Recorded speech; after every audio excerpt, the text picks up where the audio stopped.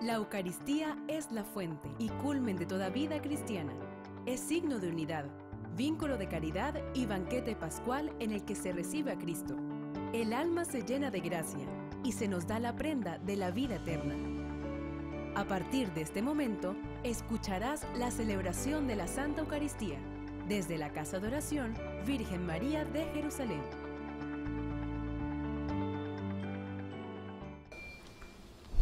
Muy buenas noches amigos de Radio Natividad 101.7 FM, 95.7 FM. Le damos la mayor cordial bienvenida a esta Santa Eucaristía, también a todas estas personas que están presentes aquí en nuestra casa de oración. Gracias por estar aquí con nosotros en nuestra casa de oración Virgen María de Jerusalén. Hoy, segundo domingo después de Navidad, conmemoramos también el nacimiento de Cristo. Con aquella su primera venida en carne mortal, dio comienzo este nuevo tiempo que perdurará hasta que Él vuelva nuevamente. Vamos a darle la bienvenida en este momento al prevístero Miguel Villamizar, el cual va a presidir la Santa Eucaristía esta noche, domingo 5 de enero.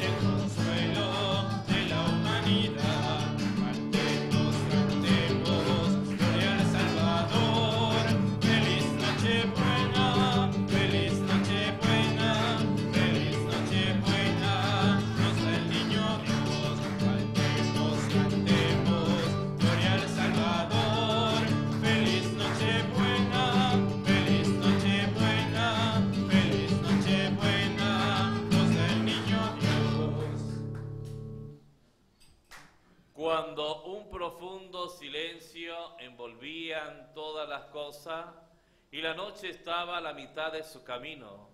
Tu palabra omnipotente, Señor, descendió de los cielos desde tu trono real.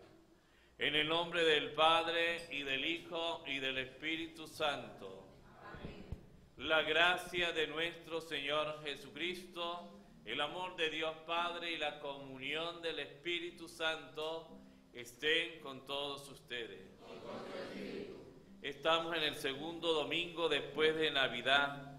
Casa de Oración Virgen María de Jerusalén ofrece esta Santa Eucaristía por las intenciones Monseñor Mario Moronta, por las intenciones de Radio Natividad y de quienes nos escuchan, por los que vienen a orar en la Casa de Oración Virgen María de Jerusalén, por la paz de Jerusalén, de Venezuela y el mundo entero, por nuestros hermanos inmigrantes, la conversión de los pecadores y todos los enfermos, por nuestros difuntos, especialmente del Padre Steve, en acción de gracias a Dios y a nuestra Madre Santísima por un año más de vida de Israel.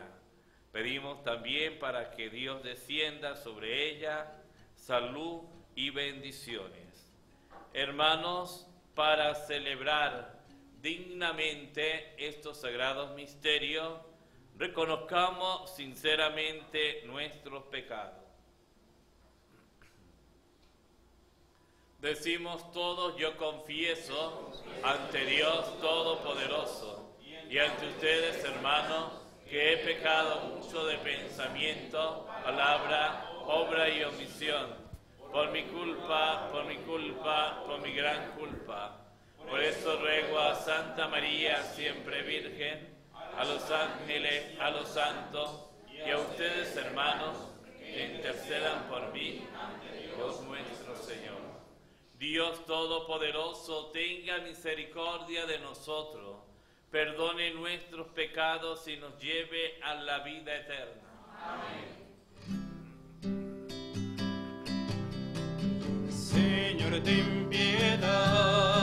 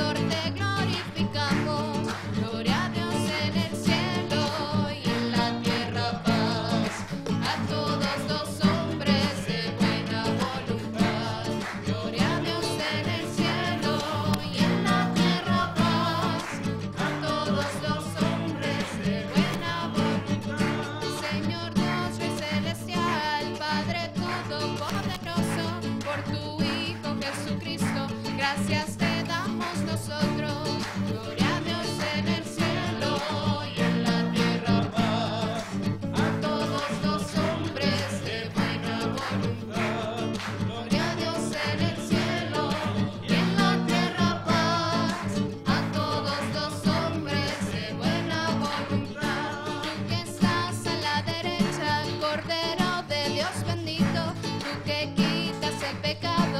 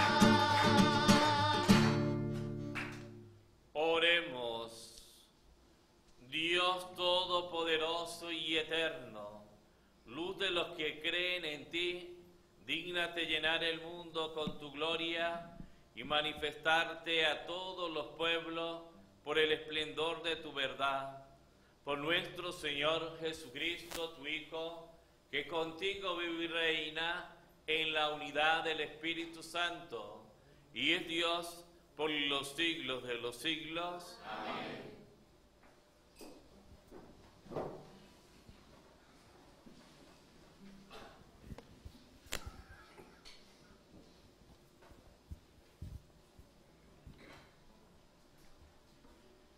Lectura del libro del eclesiástico. La sabiduría hace su propio elogio y se gloria en medio de su pueblo. Abre su boca en la asamblea del Altísimo y ante todos los ejércitos celestiales se glorifica diciendo, yo salí de la boca del Altísimo y cubrí como niebla toda la tierra. Yo levanté mi tienda en las alturas y mi trono era una columna de nubes. Entonces el creador del universo, el que me formó, me dio una orden y me dijo, pon tu tienda en Jacob, que sea Israel tu heredad. En el principio, ante de los siglos, me formó y existiré para siempre. En su santa tienda ejercí las funciones sagradas ante él. Por eso fijó mi morada en Sión. En la ciudad amada me hizo reposar y puso en Jerusalén la sede de su poder. En un pueblo glorioso eché raíces, en la porción del Señor, en su heredad. Palabra de Dios.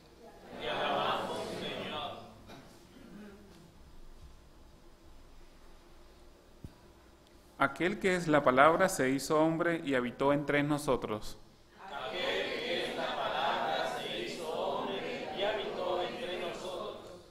Glorifica al Señor Jerusalén, a Dios ríndele honores. Israel, Él refuerza el cerrojo de tus puertas y bendice a tus hijos en tus casas.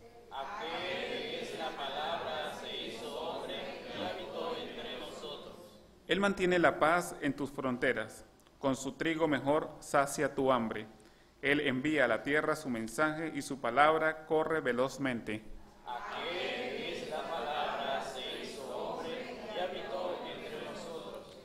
Le muestra a Jacob su pensamiento, sus normas y designios a Israel. No ha hecho nada igual con ningún pueblo, ni le ha confiado a otros sus proyectos.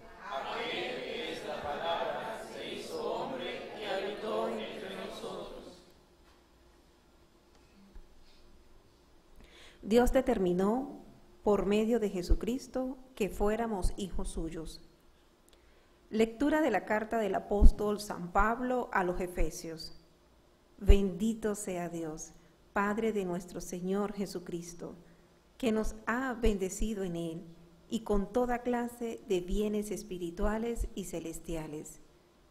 Él nos eligió en Cristo antes de crear el mundo para que fuéramos santos e irreprochables a sus ojos por el amor y determinó, porque así lo quiso, que por medio de Jesucristo fuéramos hijos suyos, para que alabemos y glorifiquemos la gracia con que nos ha favorecido por medio de su Hijo amado.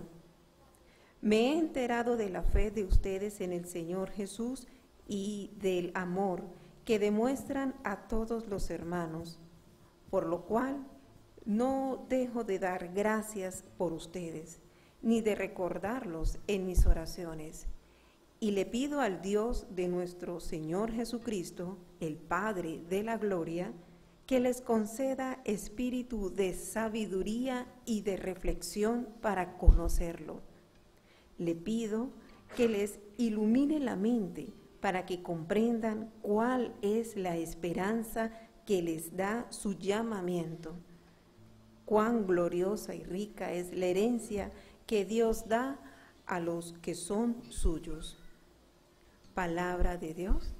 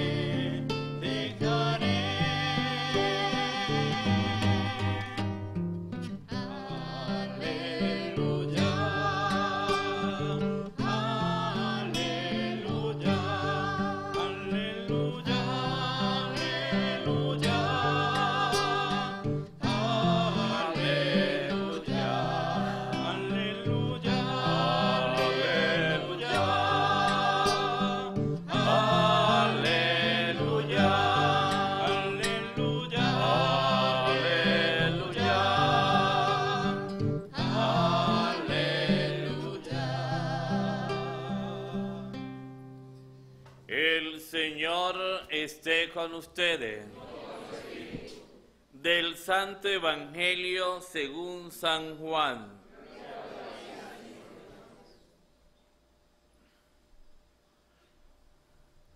En el principio ya existía aquel que es la palabra, y aquel que es la palabra estaba con Dios y era Dios.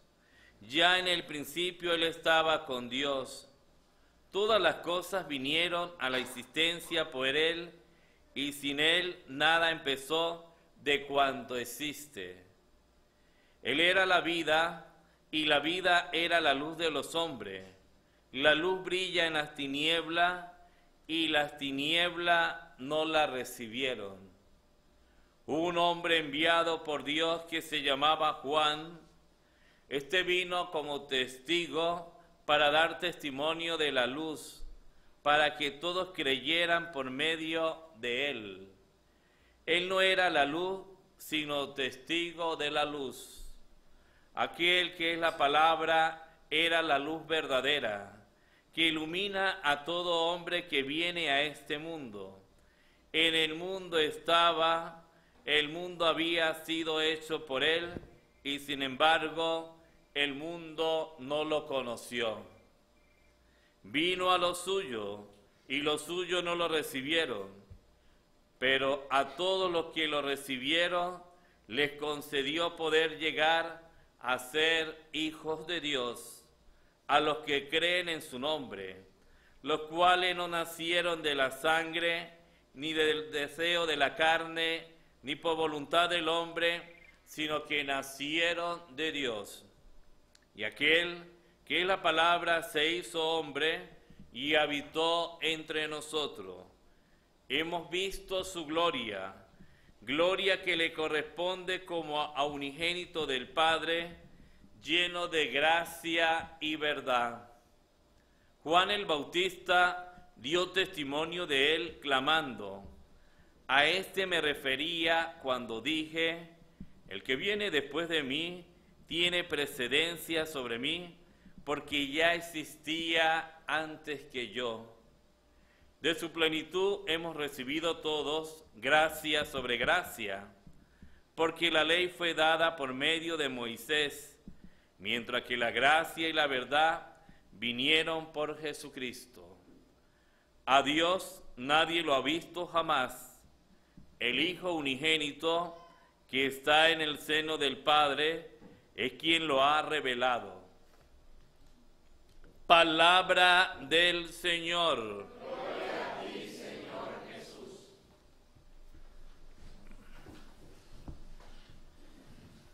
Domingo dos después de Navidad.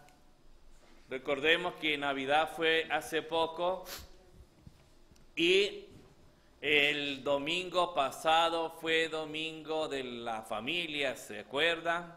La familia de Nazaret, Jesús, José y María, y este sería el segundo domingo después de la Navidad. La iglesia hoy celebra como dándole realce a este domingo después de la Navidad y no celebramos los días eh, Epifanía o Reyes porque los, los, días que no se pueden celebrar es cuando, cuando coincide en la fecha de 2 de enero al 8 de enero. Si fuera coincidido 9 o 10, sí podíamos celebrar el domingo la Epifanía del Señor, que es la manifestación que lo que nosotros llamamos comúnmente Reyes Magos. Mañana 6 de enero la iglesia celebra Día de Reyes o la Epifanía del Señor. Los pensamientos que, que llenan este día, y no solamente este día, sino todo el tiempo de Navidad. A veces pensamos que la Navidad es puramente el 25 de diciembre, Nochebuena, esa noche, o ese día y ya acabó Navidad.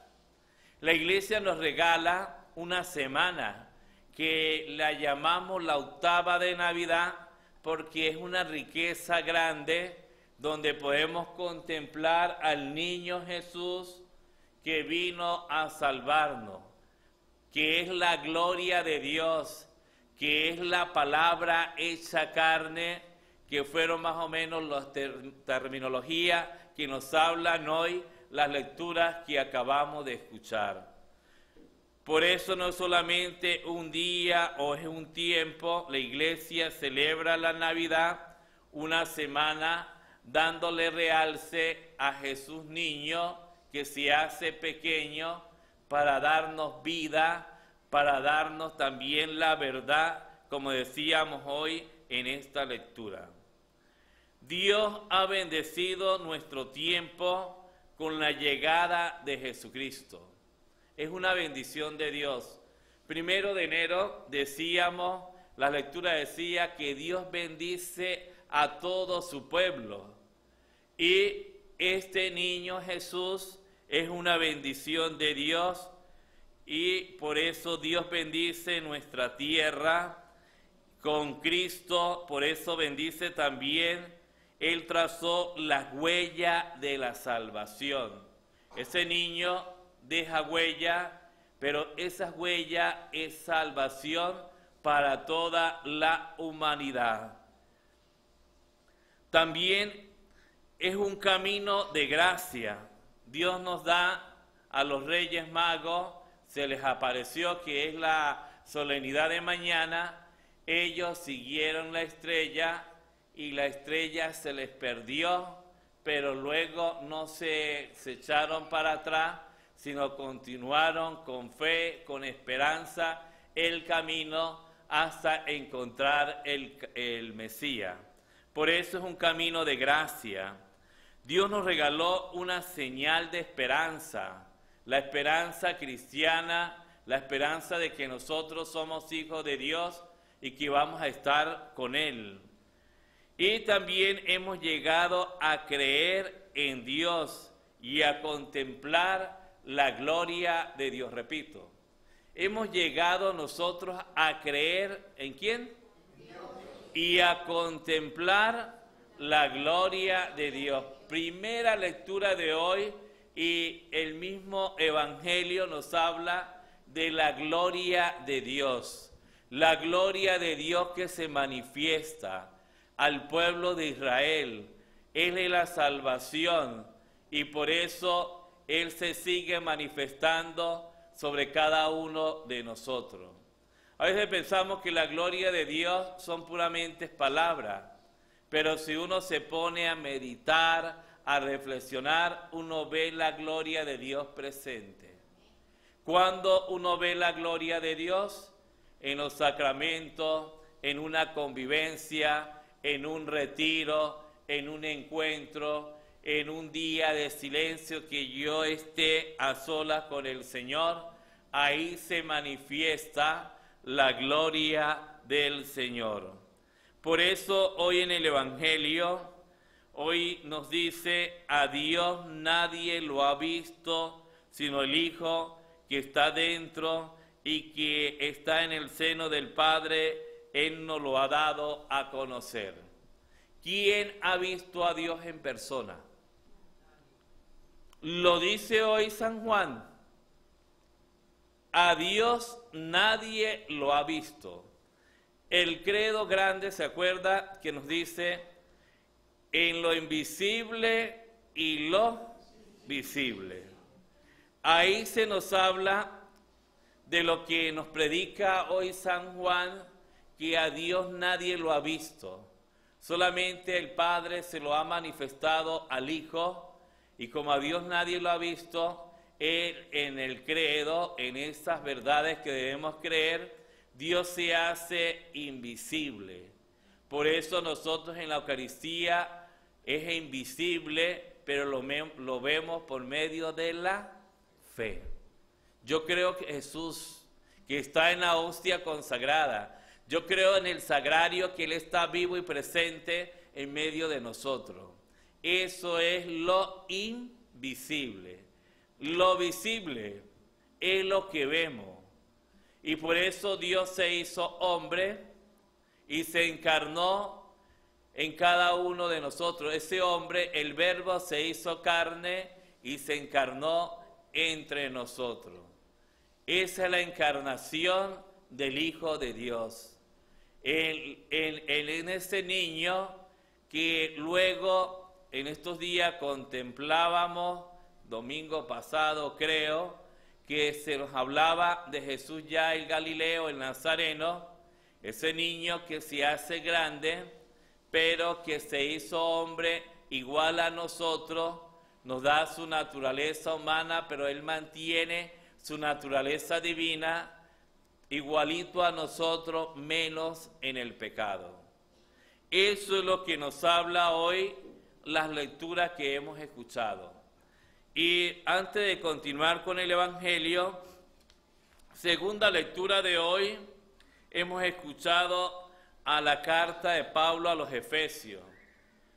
Tú y yo es una bendición que le hacemos a Dios.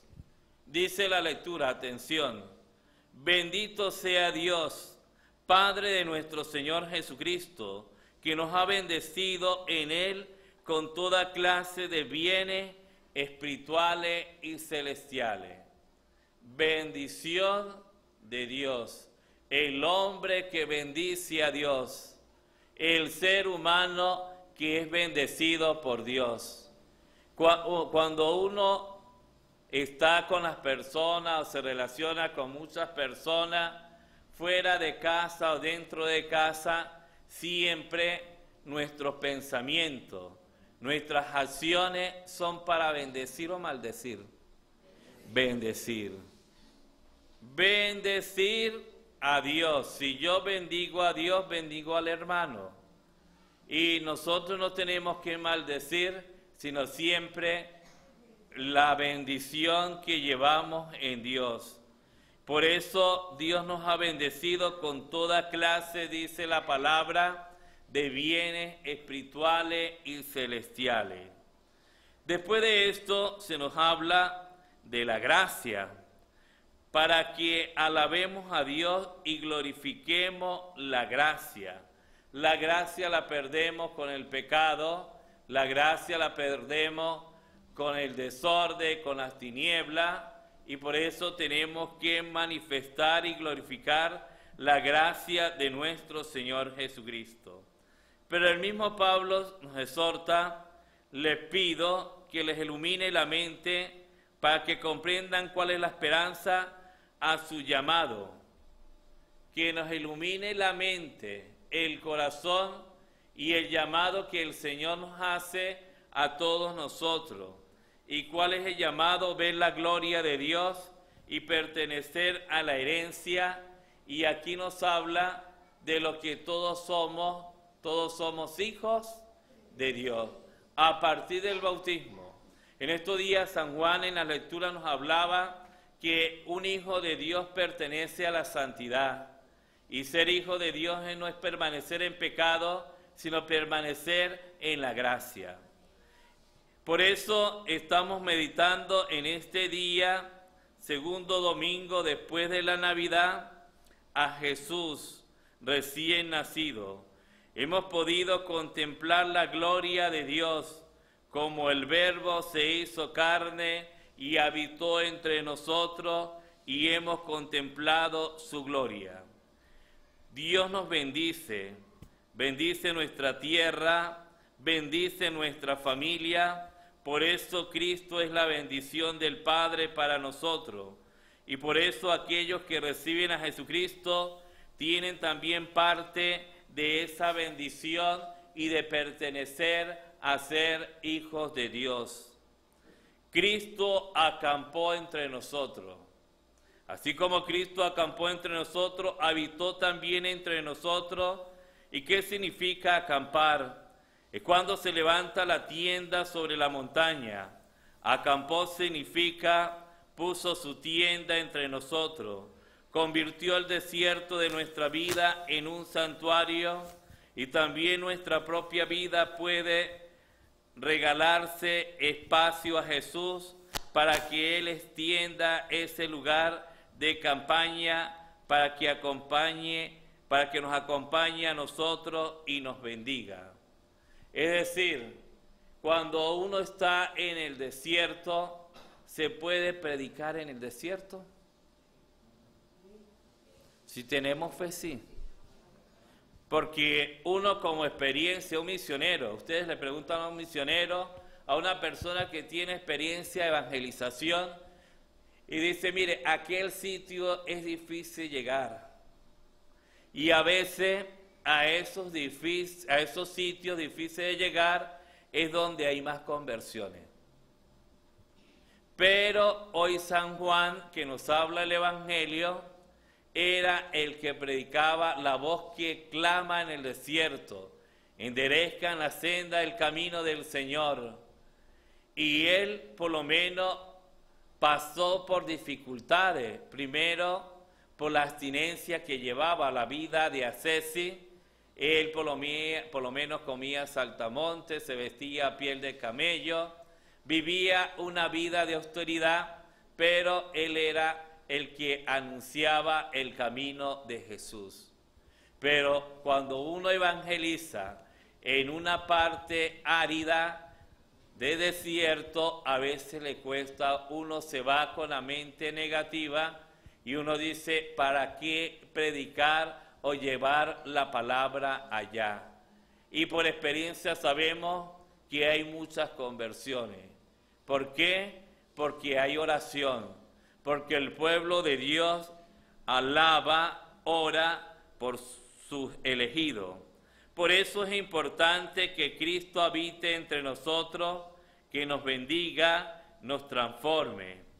De la bendición nos habla hoy la segunda lectura, lo que acabamos de comentarle, pero estamos hablando de una porción de Dios. Nosotros le regalamos un pedacito de, de nuestra alma, de nuestro ser a Dios.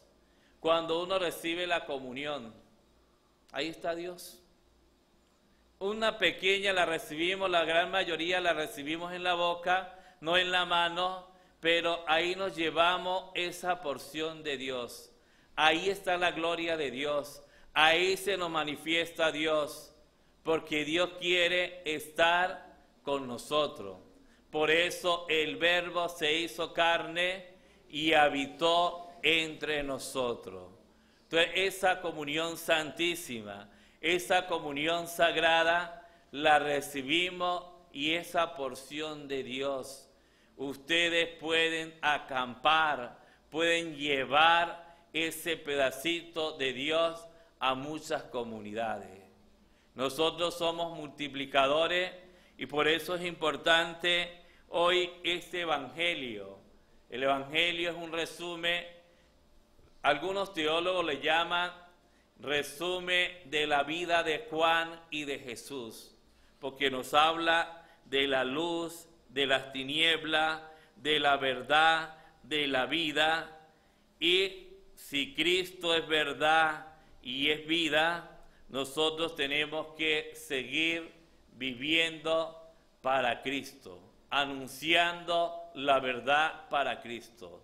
Pues pidámosle a Dios hoy en este día, segundo domingo, después de la Navidad, que así como el Hijo se hizo hombre y habitó en medio de nosotros, también nosotros nos manifestemos en su gloria.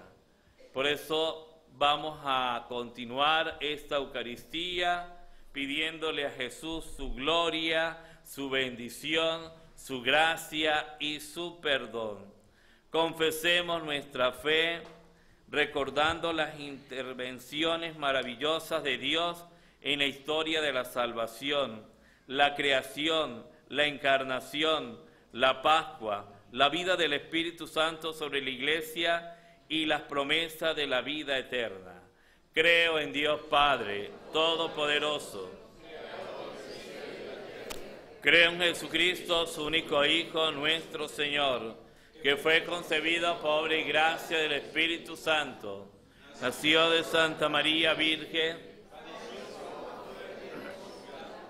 fue crucificado, muerto sepultado, descendió a los infiernos, al tercer día resucitó entre los muertos, subió a los cielos y está sentado a la derecha de Dios Padre Todopoderoso. Desde allí ha de venir a juzgar a vivos y a muertos. Creo en el Espíritu Santo, en la Santa Iglesia Católica, en la comunión de los santos, en el perdón de los pecados, en la resurrección de la carne y en la vida eterna.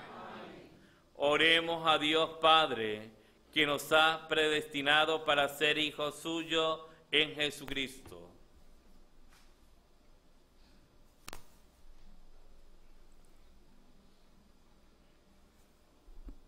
por la iglesia para que sepa comunicar al que es la palabra en lenguaje asequible al hombre de nuestro tiempo, roguemos al Señor. Por los que tienen en sus manos los medios de comunicación social, el cine, la radio, la prensa, la televisión, para que sepan ponerlos al servicio del hombre en función de la paz de Venezuela, de Israel, y de todos los pueblos del mundo entero, roguemos al Señor. Te lo pedimos, Señor. Por los profesionales de la palabra, los profesores dedicados a la enseñanza, los escritores, pensadores, novelistas, poetas, para que en su palabra irradien la luz, infundan esperanza y den sentido a la vida, roguemos al Señor. Te lo pedimos, Señor. Por nosotros, llamados a dar testimonios de la luz de Cristo, para que sepamos hacerlo de modo que Cristo sea creído en el mundo, roguemos al Señor. Te lo pedimos, Señor, por las intenciones de esta Eucaristía, por las intenciones de Monseñor Mario Moronta, por las intenciones Radio Natividad, de quien nos escucha y los aquí presentes, roguemos al Señor. En acción de gracias a Dios y a nuestra Madre Santísima, por un año más de vida de Israel, roguemos al Señor. Y por las intenciones de todos ustedes, Dios sabe lo que cada persona necesita, por eso la exponemos aquí en esta ofrenda que es llevada al altar del Señor. Roguemos al Señor. Todo esto te lo pedimos a Jesús, tu Hijo amado, que vives y reina por los siglos de los siglos. Amén.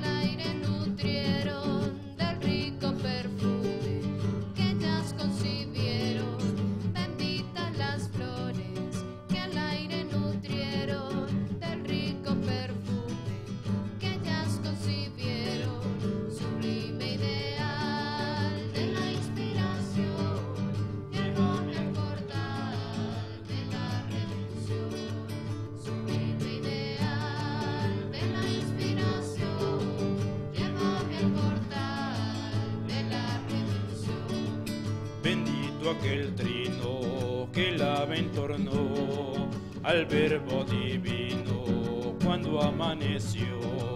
Bendito aquel trino que la entonó al verbo divino cuando amaneció.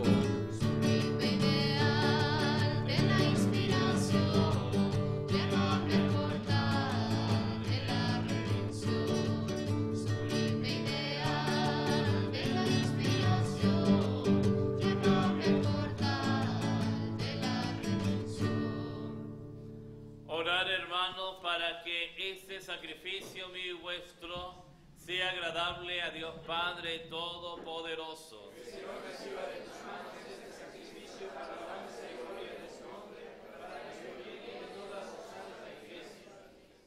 Santifica, Señor, estas ofrendas en virtud del nacimiento de tu Hijo, por el cual nos revelas el camino de la verdad y nos promete la vida del reino de los cielos.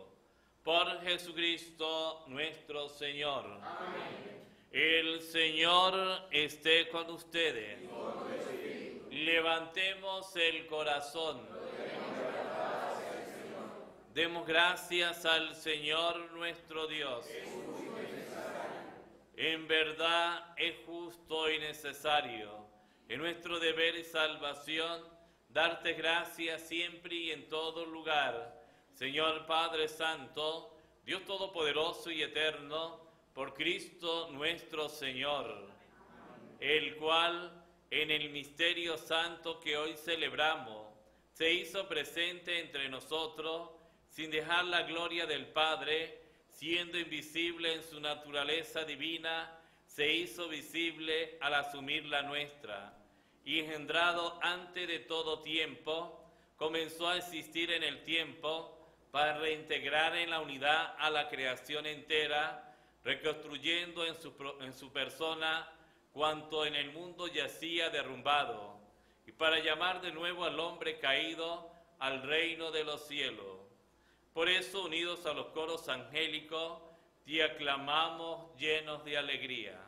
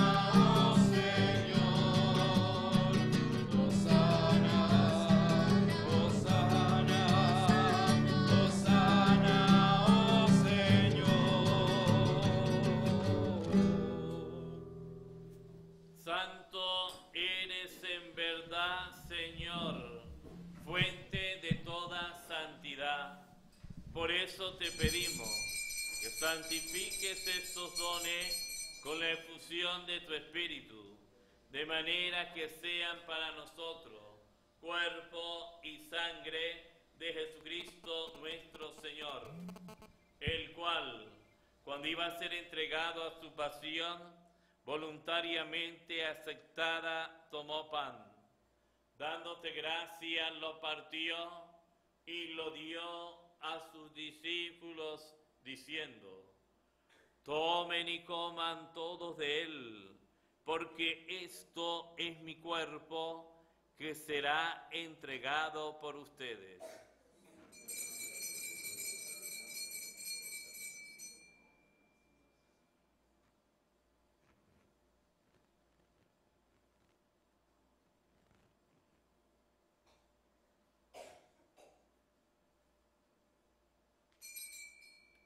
Del mismo modo, acabada la cena, tomó el cáliz y dándote gracia de nuevo, lo pasó a sus discípulos diciendo, tomen y beban todos de él, porque este es el cáliz de mi sangre, sangre de la alianza nueva y eterna, que será derramada por ustedes y por muchos para el perdón de los pecados. Hagan esto en conmemoración mía.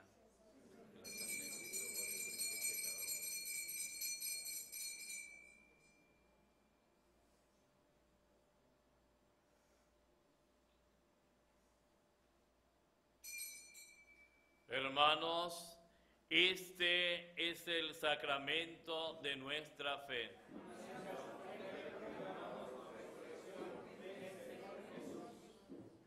Así pues, Padre, al celebrar ahora el memorial de la muerte y resurrección de tu Hijo, Te ofrecemos el pan de vida y el cáliz de salvación.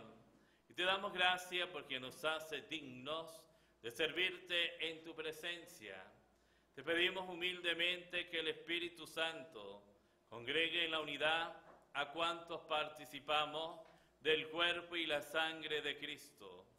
Acuérdate, Señor, de tu iglesia extendida por toda la tierra y reunida aquí en el domingo, día en que Cristo ha vencido a la muerte y nos ha hecho partícipe de su vida inmortal. Y con el Papa Francisco, con nuestro obispo Mario Moronta y todos los pastores que cuidan de tu pueblo, llévala a su perfección por la caridad.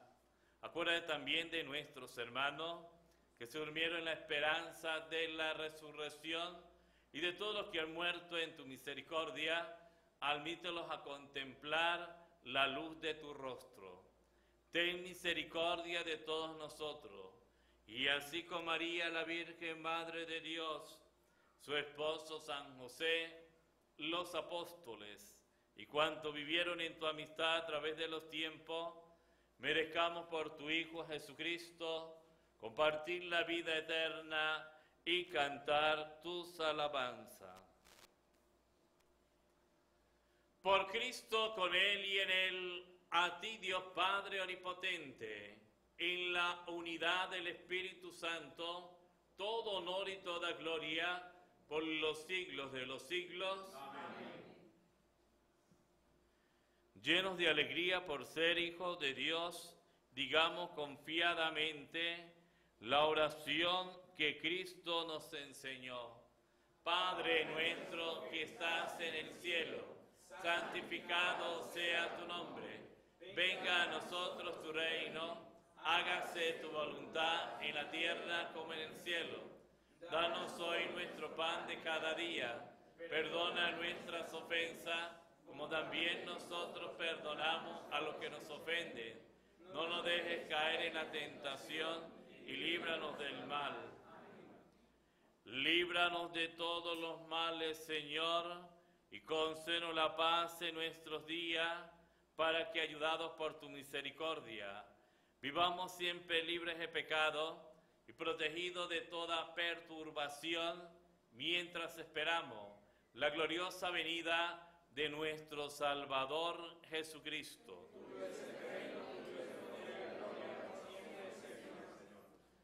Señor Jesucristo, que dijiste a tus apóstoles, la paz les dejo, mi paz les doy, no tengas en cuenta nuestros pecados, sino la fe de tu iglesia. Y conforme a tu palabra, concede la paz y la unidad, tú que vives y reina por los siglos de los siglos. La paz del Señor esté siempre con todos ustedes. Como hijos de Dios intercambien ahora un signo de comunión fraterna.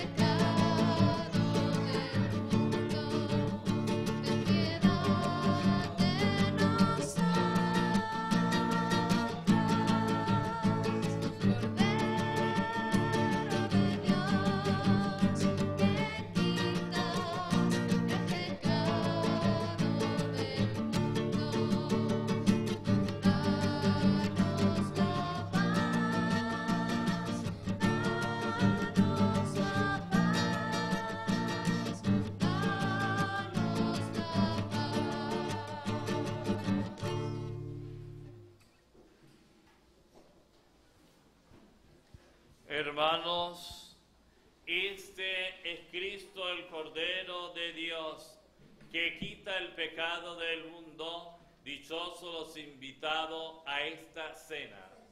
Señor, no soy digno de que entres en mi casa. Una palabra tuya bastará para sanar.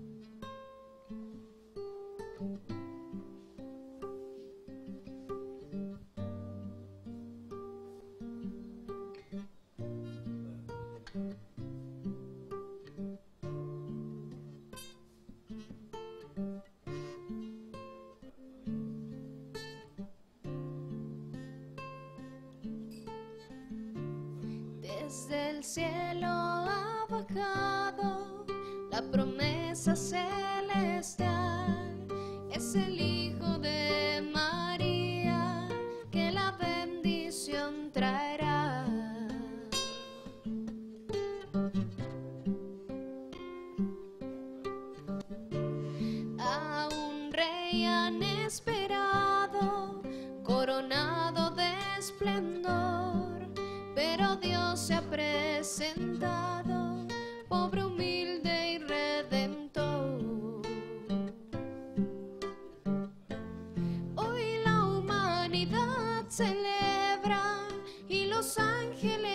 aclaman que el Señor se hizo presente, ha traído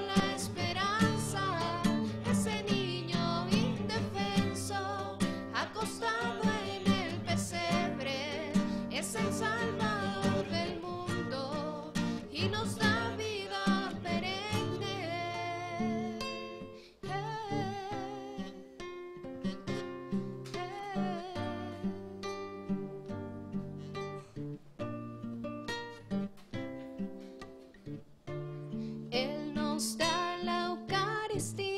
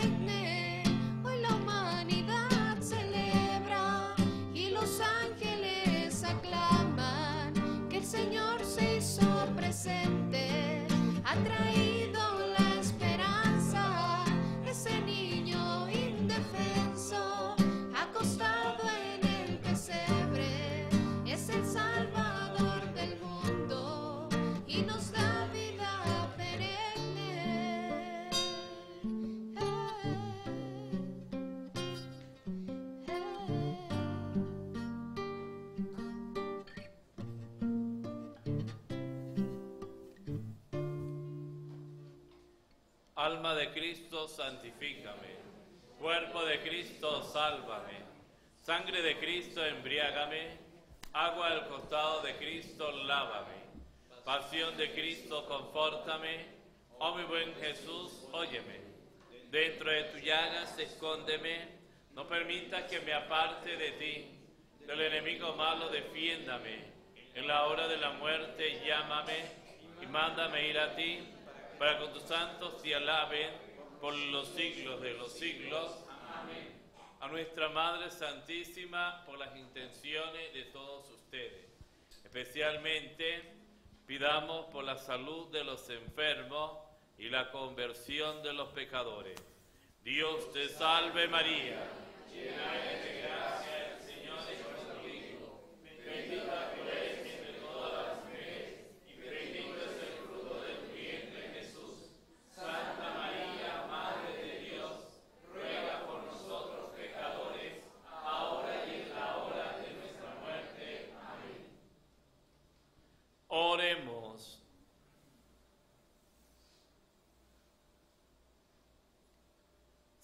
Señor Dios nuestro, te pedimos humildemente que el sacramento que acabamos de recibir nos purifique de nuestra falta y haga que se realice nuestros legítimos deseos. Por Jesucristo nuestro Señor. Antes de la bendición para mañana tenemos la Eucaristía 7 de la noche y recordemos que el horario de lunes a viernes es a las 7 de la noche. Sábado y domingo la Eucaristía es a las 7 y media. Entonces mañana con la Epifanía, Día de Reyes, vamos a celebrar esa solemnidad a partir de las 7 de la noche. Las personas que no han adquirido todavía la rifa del niño Jesús, que son dos mil pesos o 30 mil bolívares, hasta mañana hay chance, porque mañana lo vamos a hacer la rifa en vivo de, del niño Jesús que se está haciendo para profundo de casa de oración. De aquellas personas que puedan colaborar, los que nos están escuchando o los aquí presentes, pues se dirigen con los servidores para adquirir la rifa que la vamos a lanzar en el día de mañana. Y no olvidemos, la capilla está siempre abierta para hacer la visita a Jesús aquí sacramentado. Pueden venir en el horario de la mañana o de la tarde para hacer la visita aquí con Jesús presente en medio de nosotros. El Señor esté con ustedes. La bendición de Dios Todopoderoso, Padre, Hijo y Espíritu Santo, descienda sobre ustedes y los acompañe siempre. Pueden irse en paz. Vamos a cantar cumpleaños hoy en un día especial de Israel para que el Señor le bendiga y para que vaya creciendo también en la sabiduría y la gracia de Dios.